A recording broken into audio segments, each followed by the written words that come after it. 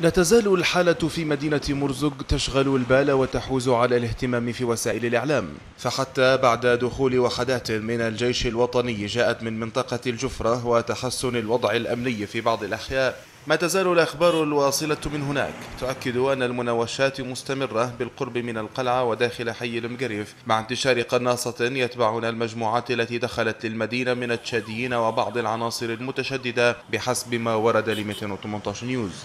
مصادر 218 تحدثت قبل أيام عن أن المجلس الرئاسي لحكومة الوفاق له يد فيما يحدث داخل المدينة لأغراض لها علاقة بمعركة طرابلس التي يخوضها الجيش الوطني.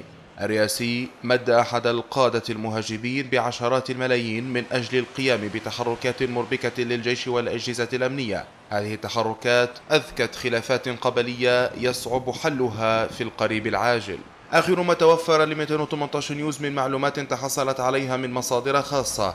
هي وصول وفد أرسله فايز السراج إلى مدينة أوباري مكون من شخصيات بعضها محسوب على جماعة الإخوان المسلمين من أجل بحث مسألة مرزق ومناقشة آخر تطوراتها. كما أفاد المصدر الخاص بأن علي كنا له يد في استعمال مهبط أوباري لإيصال الجرحى إلى طرابلس قادمين من مرزق أخبار مجتمعة تؤكد أن الرئاسي ضالع فيما حصل لمرزق من أحداث دامية أدت إلى مقتل العشرات وأدت كذلك إلى تهجير الألاف.